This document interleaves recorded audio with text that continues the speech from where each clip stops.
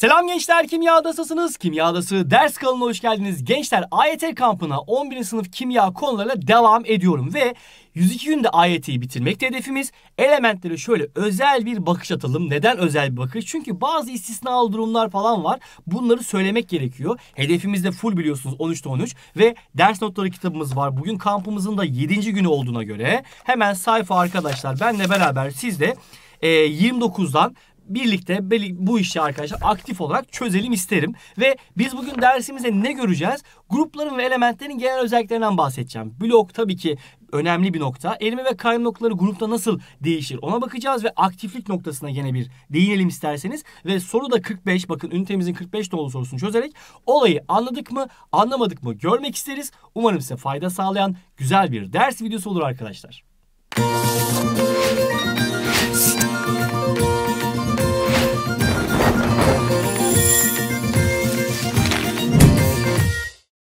Burada bir periyodik cetvel görüyoruz arkadaşlar. Baktığımız zaman burada elementlerin türleri var. Neymiş bunlar? Hemen dört türdür bu elementler zaten. Arkadaşlar elementleri biz metaller, evet. Ametaller, evet. Soy gazlar ve yarı metal olarak dörde ayırabiliyoruz. Şimdi arkadaşlar biz hatırlarsanız geçen dersimizde söylemiştik. Sola doğru ve aşağı doğru gidersek metalleri buluruz. Aktif metalleri buluruz demiştik. Ve buraya baktığımız zaman arkadaşlar metallerin sayısı çok fazladır.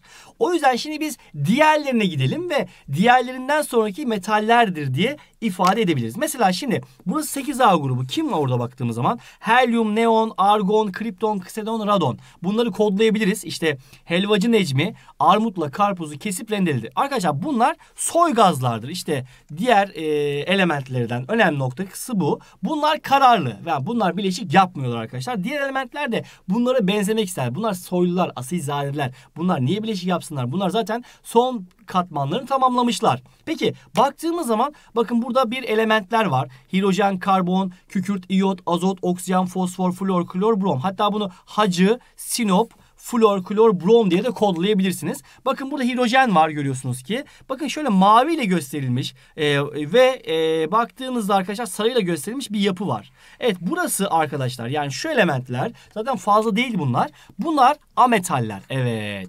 Ametalleri mutlaka bilelim. Yani hidrojen, karbon, kükürt, iyot, azot, oksijen, fosfor, flor, klor, brom. Bunlar ametal. Tabi buraya selenyum da yazabiliriz, astatin de yazabiliriz ama çok karşımıza gelmeyecek. Bu ama buradaki 10 element çok fazla karşınıza geleceği için bunları mutlaka bileceğiz.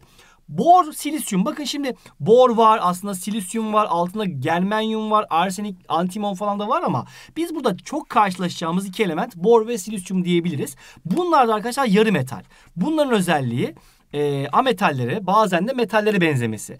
Diğerleri bakın şimdi kim onlar? Lityum, sodyum, potasyum, berilyum, magnezyum, titanyum, vanadyum, magne, e, mangan, magnezyum, işte rubidium falan filan. Arkadaşlar bir sürü sayarsınız. Yani toplam 95 tane falan sayarsınız. Yani şurası bakın şöyle hidrojen hariç hop şöyle burası komple zaten. Arkadaşlar böyle burayı sayabilirsiniz. E, bunlar çoktur. O zaman demek ki diğerleri ne diyoruz? Metal diyoruz. Yani sodyum desek metal, altın desek metal, gümüş gümüş desek metal mesela. Bunların haricindekiler metal olmuş oluyor diye burada kodlayalım. Şimdi beraber grup bazından bakalım isterseniz. 1A grubu alkali metaller diye geçer. Kimdir bu? Haydarpaşa Lisesi'nin namlı kimyacısı kendi soyadımı da burada atıfta bulunarak Rabia'nın e, çizmesini fırlattı. Evet. Şimdi baktığımız zaman bunlar S bloğu element. Neden? Bunlar hani S1 ile biter. Hidrojeni dağıtırsak 1S1. İşte onun altına lityum e, dağıtırsak 2S, 1S2 2S1 diye bitiyor. Yani S de bittiği için S bloğu diyoruz. Hidrojen hariç hepsi metaldir.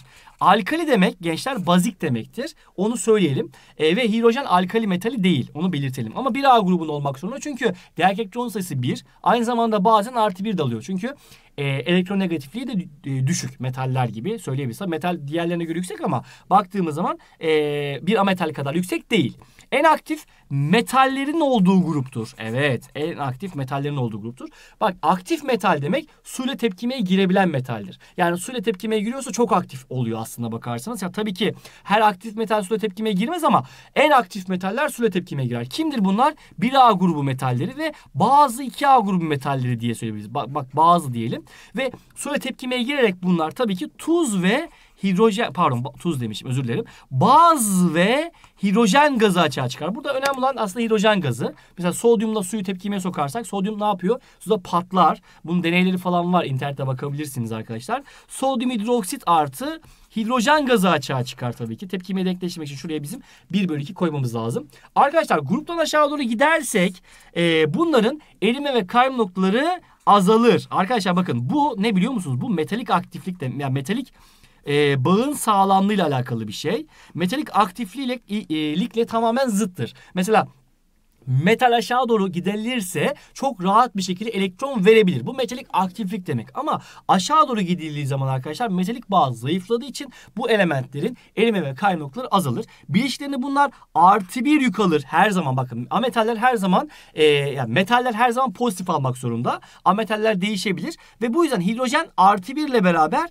eksi bir de alır. Yani şöyle diyelim eğer bir e, ametalle bileşik yaparsa hidrojen artı bir eğer bir metalle bileşik yaparsa yaparsa arkadaşlar burada eksi bir alır. Bunu yarınki dersimde size daha net anlatacağım. Evet devam ediyoruz. Şimdi toprak alkali metaller. Toprak alkali metaller 2A grubu elementleridir. Bunlar da S bloğu. Çünkü bunlar da S2 ile biter baktığımız zaman. Mesela e, helyum e, değil de tabii ki helyum hariç burada baktığımız zaman hani 2A grubuna baktığımız zaman e, helyum burada yok 8A'da oluyor ama S2 ile bitiyor da. Onu da söyleyelim burada dedim. Berilyum mesela 1S2 2S2 bakın ikinci periyot 2A S2 ile bitmiş. İşte magnezyum 3S2 ile biter gibi bunu söyleyebiliriz. Tümü bunların metaldir. Ve bunların değerlik elektron sayıları 2'dir tabii ki. S2 ile bitince 2 olmuş oluyor. Ve bunların bazıları H2 tepkimeye girerler. Özellikle aşağıdakiler ya kalsiyum, strasyum, baryum. İşte magnezyum mesela sıcak bir e, suyla tepkimeye girer. Soğuk bir suyla tepkimeye giremez. Bileşiklerinde bunların yükü de arkadaşlar artı 2'dir. Yükseltgen basama artı 2'dir diyoruz. Evet. Şimdi 3A grubu elementlerine bakalım. 3A gruplarına biz toprak metalleri diyoruz. Bunlar arkadaşlar P bloğu element. Artık 3A'dan ne yapıyoruz arkadaşlar? 8 ay kadar P bulu elementidir. Çünkü bunlar P1 ile bitecekler.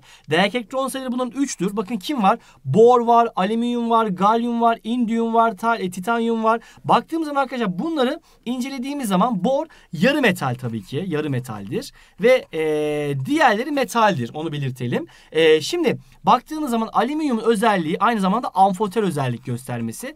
Amfoter demek asite karşı baz, baza karşı asit gibi davranılır. Bu arada 2A'da da vardı bizim amfoterimiz. Onu söylemedim.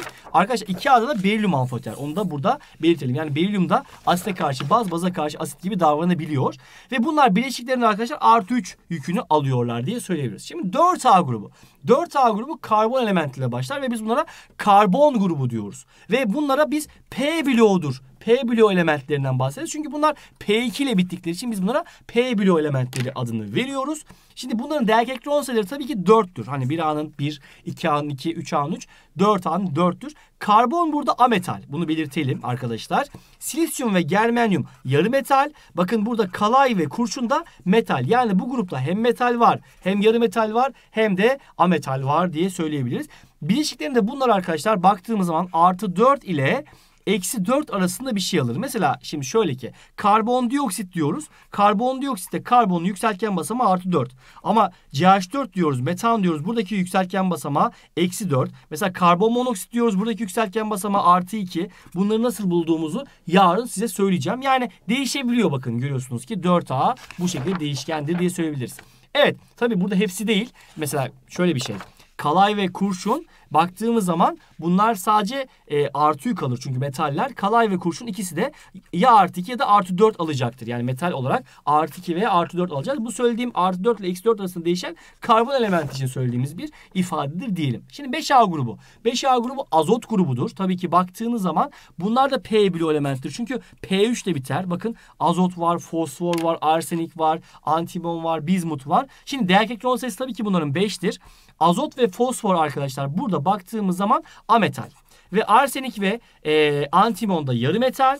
Bizmut da arkadaşlar gördüğümüz zaman metal oluyor. Yani bakın aynı 4A grubu gibi içerisinde yarı metal de var, ametal de var, metal de var. Böyle bir gruptan bahsederiz. Ve bileşiklerinde bunlar arkadaşlar tabii ki artı 5 ile eksi 3 arasında bir şey alacak. Yani 5 tane verebilir ya da 3 tane alabilir. Özellikle azot için bunu söyleyelim arkadaşlar. Burada önemli. Evet 6A grubu elementlerinden bunları da biz e, arkadaşlar kalkojenler de diyoruz. Yani şurada yazdık mı? Evet grubun diğer adı kalkojenlerdir. Oksijen grubu da diyoruz. Oksijenle başladığı için. Bunlar da P bloğu elementleri ve değer elektron sayıları 6'dır tabii ki. Buraya baktığımız zaman tellür ve polonyum yarı metal. E, ve oksijen, kükürt ve selenyum da tabii ki e, ametaldir diye söyleyebiliyoruz. Ve yükseltgen basamakları bunların incelediğimiz zaman artı 6 ile eksi 2 arasında alır. Tabii bu kükürt için geçerli onu söyleyelim. Oksijen genellikle eksi 2 alır. E, e, genellikle eksi 2 alır. Peroksit diye bir bileşiğimiz var. Onu yarın söyleyeceğim size. Orada eksi 1 alıyor oksijen. Bir de OF2 bileşiğinde de arkadaşlar yükü artı 2 oluyor. Ama mesela kükürt hem artı 2 alır e, yani hem artı 6 alır hem eksi 2 alır. Hem de arada mesela başka başka yüklerde alabilir. Kükürtün değeri bu. Onu belirtelim. Evet halojenler. Halojenler demek tuz yapıcılar demektir. Bunlar kimdir? Flor, klor, brom, iot. Yani Fino Celal'in burnunu ısırdı diye de kodlayabilirsiniz. Çok önemli. Bunlar da P elementidir. En aktif ametallerin olduğu gruptur. Evet en aktif ametaller burada vardır. Doğada bunlar arkadaşlar baktığımız zaman nasıl bulunurlar? Moleküler halde bulunurlar. Yani mesela floru böyle tek başına bulamazsınız. Nasıl bulacaksınız? Floru F2 şeklinde bulursunuz veya kloru Cl2 şeklinde bulursunuz. Atomik halde bulamazsınız. Onu belirtelim. Gruptan aşağı doğru gidersek gençler bunların kaynama noktaları artar. Bak şöyle bir şey genelleyebilirsiniz. Ametallerin olduğu grupta aşağı doğru gidersek veya soy gazlarının olduğu grupta aşağı doğru gidersek ve kaymakları artıyor. Çünkü burada Van der Waals bağları artıyor. Van der Waals bağlarının kuvveti artıyor aşağı doğru gidersek. Ki daha da özelleştirirse London kuvvetleri vardır. London kuvvetleri apolar moleküllerde ve soy gazlarda vardır. Aşağı doğru gidersek elektron sayısı artar ve London kuvvetleri artar. Erime ve kayma noktası artar. Kim için söylüyoruz bunu? 7A grubu için söyleriz. Kim için söyleriz? 8A grubu için söyleriz. Ama metallerin olduğu grupta aşağı doğru gidersek mesela 1A grubu, 2A grubu gibi metallerin olduğu grupta aşağı doğru gidersek metalik bağın sağlamlığı azaldığı için bunların erime ve kayma noktaları azalır. Onu belirtelim. Evet. Şimdi oda koşullarında bunlar farklı fiziksel hallerdedir baktığımız zaman. Mesela flor arkadaşlar oda koşullarında gazdır. Klor da gazdır. Ama brom oda koşullarında işte sıvıdır. İyot da katıdır arkadaşlar. Yani aşağı doğru gidilirse erime ve kayma noktası artar dedik ya. Bunu da buradan netice olarak böyle söyleyebiliyoruz. Değer elektron sayıları bunlar arkadaşlar 7'dir. Tabii ki baktığınızda. Hidrojenli bileşikleri bunların asidiktir. Hani kimdir o bileşikler? HF olabilir, HCl olabilir, HBr olabilir gibi. Aşağı doğru gidersek bu durumda hidrojenli bileşiklerin asitliği artar. Evet belirtmiştik, söylemiştik daha önce. Ve bileşiklerinde bunlar arkadaşlar artı 7 ile Eksi bir arasında büyük kalır ama flor sadece elektronegatifliği en yüksek olan element olduğu için sadece ve sadece eksi bir alıyor. Başka bir yük alamaz arkadaşlar. Flor için böyle bir şey var. 8A grubu. 8A grubunun diğer ismi soy gazlar ya da asal gazlar diyebiliriz. Bunlar da arkadaşlar P bloğu elementi ama e, helyum S bloğudur. Çünkü helyumun dağıtılması 1S2 olduğu için de helyumun S bloğunu alıyoruz. Ama diğerleri mesela neon desek neonun proton sayısı 10'dur. Nasıl dağıtıyoruz? 1S2, 2S2, 2P6 bakın hep P ile biter. E, bunlara biz P bloğu diyoruz. Helyumun hariç değer elektron sayıları dolayısıyla bunların 8'dir. Yani baktığımız zaman S2 ve P6 toplam 8 elektron vardır. Ama helyumun S2 olduğu için de değer, e, bunun değer elektron sayısı 2'dir diyoruz. Son yörüngeleri tam dolu olduklarından bunlar bileşik yapmazlar. Yani bunlar kararlıdırlar diye söyleyebiliriz. Ve doğada bunlar atomik bulunur. Yani siz hiçbir zaman helyumu bir bileşik halde göremezsiniz. Yani helyum mesela atıyorum sodyumla bileşik yapamaz. Veya helyum veya neon doğada e, şöyle N2 şeklinde veya H2 şeklinde bulunamaz. Bunlar bireysel. Yani karizmatik tek başına bunlar yani baktığınız zaman. Tabii karizmatik demeyelim de yani tek başına katılıyor takılıyor bunlar. Çünkü yani öyle bir amacı yok, isteği yok. Adam zaten kararlı. Ne işi var başka bir atomla bileşik yapmaya? Evet baktığınız zaman gruptan aşağı doğru gidildikçe kay noktası ne demiştik? Artar demiştik. Sebebi de aşağı doğru gidersek bunların arkadaşlar tabi baktığımız zaman e, London kuvvetleri yani Van der Waals kuvvetlerinin bir türü olan London kuvvetleri artıyor ve aşağı doğru gidersek kay noktası artar. Ama hepsi bunların oda koşullarına yani 25 santigrat derece hepsi bunların gazdır diyebiliriz. Çünkü bak soy gaz gaz zaten bunlar yani soylu gazlar. B grubu elementleri bunlar da geçiş metaller olarak karşımıza gelir arkadaşlar. Bunların tümü metaldir. Tabi bunlar e, ilk 3 periyotta yok. O yüzden 4. periyottan itibaren başlar ve bunların dağılımları D'dir. D, yani D ile biter ve D bloğu elementidir diye söyleyebiliyoruz. Çoğu değişken e, pozitif yük alır. Bakın değişken pozitif yük alacaktır. Ama tabii hepsi değil. Mesela çinko sadece artı 2 alır. Onu belirtelim ama mesela bakır hem artı 1 alır hem artı 2 alır. Demir hem artı 2 alır hem artı 3 alır. Yarınki dersimizde de bunların isimlendirilmesinde bir kural var. Onu da belirteceğim sizlere.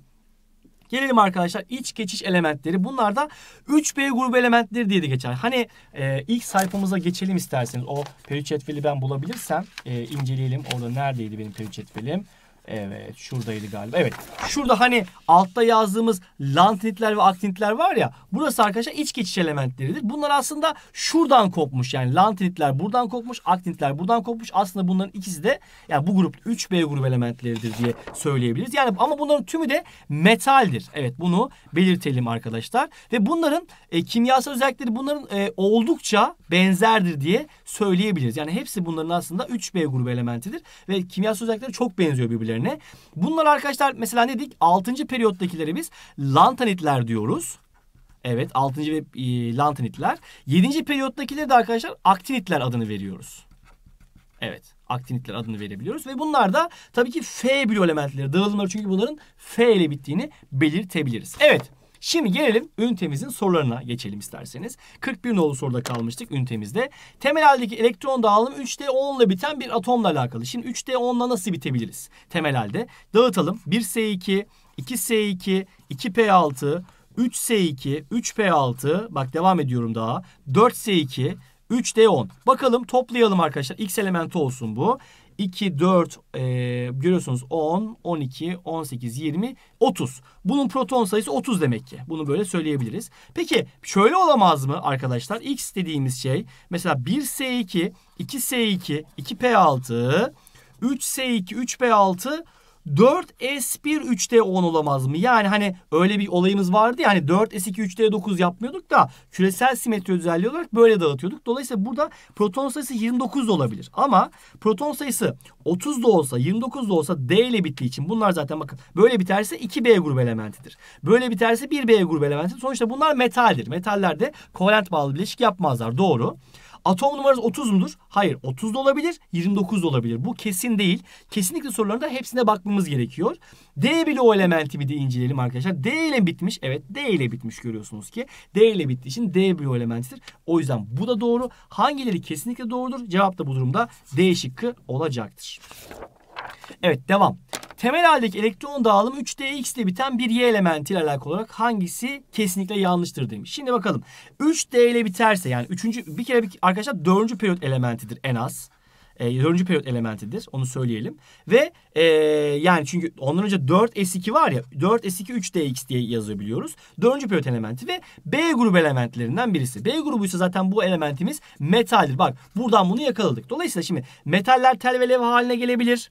Dördüncü periyot elementinde yer alır. E şimdi 3D mesela 5 olursa baktığınız zaman 3D 5 olduğu zaman küresel simetriktir. Evet olabilir mi? Mesela hepsi yarı dolu veya 3D 10 da olabilir. Hani baktığınız zaman küresel simetriktir. Olabilir de olmayabilir ama kesinlikle yanlıştır ifadesini alamam. Evet olabilir.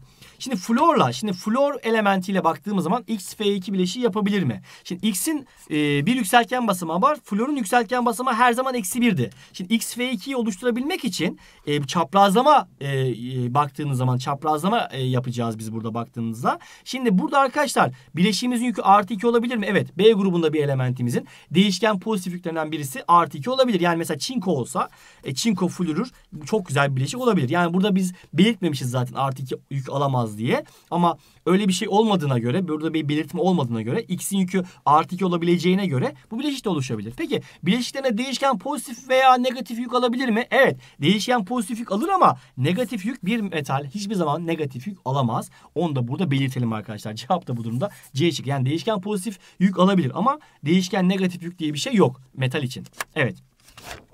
Devam ediyoruz. Yukarıda ne var? Elektron dağılımlarının hızı vermişiz. Görüyorsunuz ki helyum için e, pardon helyumun üzerine aktarıyoruz X için. Y için neonun üzerine aktarmışız. Z için de neonun üzerine aktarmışız. Şimdi helyumun proton sayısı 2'dir. Dolayısıyla X'in aslında proton sayısı şöyle aslında 1S2, 2S2, 2P5 gibi. Aslında X'in proton sayısı 9. Yani hatta baktığımızda X'in ikinci periyot 7A olduğunu söyleyebiliriz. En yüksek başkanım sayısı 2'dir. 2 artı 5'ten görüyorsunuz ki 7 oluyor. 7A grubu olarak yazabiliyoruz. Şimdi neonun üzerine Y zaten 10 neondan var. Bir de buradan gelmiş 11. O zaman ne olur? Üçüncü periyot bir A grubu oluyor. Bu da metal olduğunu söyleyebiliriz. Hani S1 ile bittiği için. Neon'a e, Z'ye bakalım. Z'de ise e, neonun üzerine 3s2 3p1 yani 13 eklemi, 3 eklemişiz. Yani 3. periyot 3a oluyor bu da baktığımız zaman P1 ile bittiği için bunu söyleyebiliriz. Buna göre hangisinde y, x ifadesi vardır? Yani y en büyük olacak. Atom çapı sola doğru ve aşağı doğru artar. Evet e, y ve z ikisi de 3. periyotta. İkisi de aynı periyotta. X'e göre atom çapı daha büyük. Ama y1a'da olduğuna göre atom çapı z'den daha büyüktür. O zaman y, x ifadesi doğru. Değerli elektron sayısına bakarsak e, x'inki 7'dir. Y'ninki 1'dir. Z'ninki 3'tür. Ne demiştik? Grup numarası neyse değer elektron sayısı o oluyordu. Dolayısıyla baktığımız zaman değer elektron sayıları arasında Y en küçük oluyor bu durumda. Bu olmaz. Elektron verme isteği zaten metalik aktiflik demektir. O da sola doğru ve aşağı doğru artar. Aynı buradaki çap gibi olacaktır. O zaman Y büyüktür Z, Z büyüktür X olarak ifade edeceğiz. Arkadaşlar cevap da bu durumda 1, 3 ola, e, elektron verme isteği deyince. Şıklara bakıyorum. Bir şey yanlış yapmışım arkadaşlar. Şöyle ki şurası 1 ve 3 olacaktı onu yanlış yazmışım. Cevap da bu durumda C şıkkı 1 ve 3 olacaktır diye söyleyelim. Siz de kitabınızdan burayı düzeltin olur mu? Evet bazen baskı hatası yapabiliyoruz. Evet soru 44 burayı inceleyelim arkadaşlar. Elimizde 4. periyot elementleri olan X, Y, Z atomlarının proton sayılarının ilişkisi hangisine doğru olarak verilmiştir diye sormuşuz. Şimdi bileşiklerinde X için bir bilgi verilmiş. Y için ve Z için. X'te diyoruz ki bileşiklerine farklı pozitif yük alabilirler. Demek ki X bu durumda ne olur? Farklı pozitif yük alabiliyorsa X demek ki bir metaldir zaten ama hangi metaldir? Geçiş metalidir. Yani baktığımız zaman. Yani B gruplarındandır. Ne olacaktır? İşte 1B, 2B, 3B artık neyse o 4B yani 8B'ye kadar artık o e, seride bir şeydir diye söyleyebiliriz. Dördüncü periyot elementiymiş hepsi onu gördük. Toprak metali deyince bu elementimiz 3A, Y için bunu söylüyoruz. Z'de S bloğu element elementi ise dördüncü periyotta S element, S bloğu elementi ise ya burası 1A'dır ya da burası 2A'dır. Şimdi bir periyot düşünelim. Dördüncü periyot düşünelim. Dördüncü periyot nasıl başlar? Tabii ki her periyot gibi dördüncü periyotta 1A grubuyla başlar. 2A grubuyla devam eder. Sonra dördüncü periyot olduğu için buraya arkadaşlar B grupları girer. Sonra ne olur? B grupları bittikten sonra 3A, 4A diye devam eden bir periyottan bahsediyoruz. Şimdi baktığımız zaman Z nerede? Ya 1A'da ya 2A'da. Yani Z burada. Peki inceleyelim. Peki X nerede? X de B grubu elementleri geçiş metali. O zaman X burada olacaktır. E, y de toprak elementi ise toprak metali ise Y de burada olmak zorundadır. Peki hala biz ne istiyoruz? Proton sayıları arasındaki ilişkiyi istiyoruz. Proton sayısı büyükten küçüğe Y büyüktür X, X büyüktür Z olacaktır. O zaman cevap da bu durumda arkadaşlar. Y, X, Z, e, C şıkkı olacaktır diye söyleyebiliriz. Evet şimdi arkadaşlar incelediğimiz zaman ne göreceğiz burada? Yanlış yapmadık değil mi? Evet. Ee, evet yanlışlık yok. Devam ediyorum arkadaşlar. Şimdi biz burada ne yapacağız? Biz burada şimdi diğer sorumuz var. Bunu inceleyelim. Ee, so soru 45 yani yapmadığımız bir soru vardı. Buna bakalım şimdi. Dersin sonunda bakarız dediğimiz. Elimizde K, M, Y, T elementleri var görüyorsunuz ki. Bu elementlerle alakalı e, hangisi e, ne demiş ki hangisi doğrudur? Şimdi inceleyelim. Burada bize bilgi veriyor. Diyor ki M sadece bileşiklerinde eksi 1 alıyor. Bu kimdir? Ha, eksi 1 alırsa bu arkadaşlar bu elementimiz tabii ki 7A grubu elementinde flor elementidir. Bak bu kesinlikle doğru. O zaman demek ki burası 7A grubuysa o zaman bu da tabii ki 6A grubu elementidir. Yani K ve Y 6A grubu elementidir. O zaman M burada florsa T de hatta burada klor diyebiliriz. Onu belirtebiliriz. Yani burada aslında hepsi e, görüyorsunuz ki burada oksijen elementi K, burada e, Y kükürt elementi hepsi bunların ametal elementi olduğunu anlamış olduk. Şimdi Y bir kalkojen mi? Y zaten baktığımız zaman 6A grubu elementi. 6A grubu elementleri zaten tabii ki kalkojenlerdir. Bu da doğru. T'nin elektron ilgisi M'ninkinden küçük mü? Şimdi T'nin elektron ilgisi, elektron ilgisi e, biliyorsunuz ki yukarı doğru artardı. Ama bir istisnai durumumuz vardı. Neydi o arkadaşlar? E, elektron ilgisi yukarı doğru artar ama klor elektron ilgisi en büyüktü. Yani klor burada flordan daha büyük oluyor. O yüzden T burada klor olduğu için, M de burada flor olduğu için T burada M'den büyük olması lazım. O yüzden bu ifademiz yanlış oldu.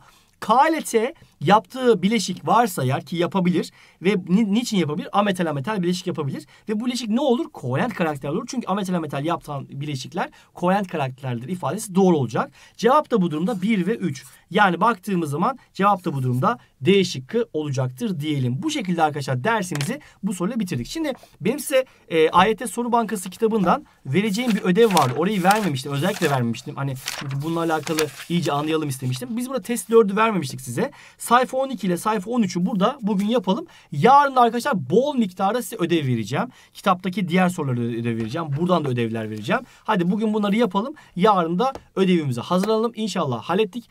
Sürçülisan etsek affola arkadaşlar. Bazen biz de hata yapabiliyoruz. İnsanlık hali diyelim. Hani iyi anlatılım derken bazen hatalar yapabiliyoruz. Yani baskı hatasında hatalar olabilir bazen arkadaşlar.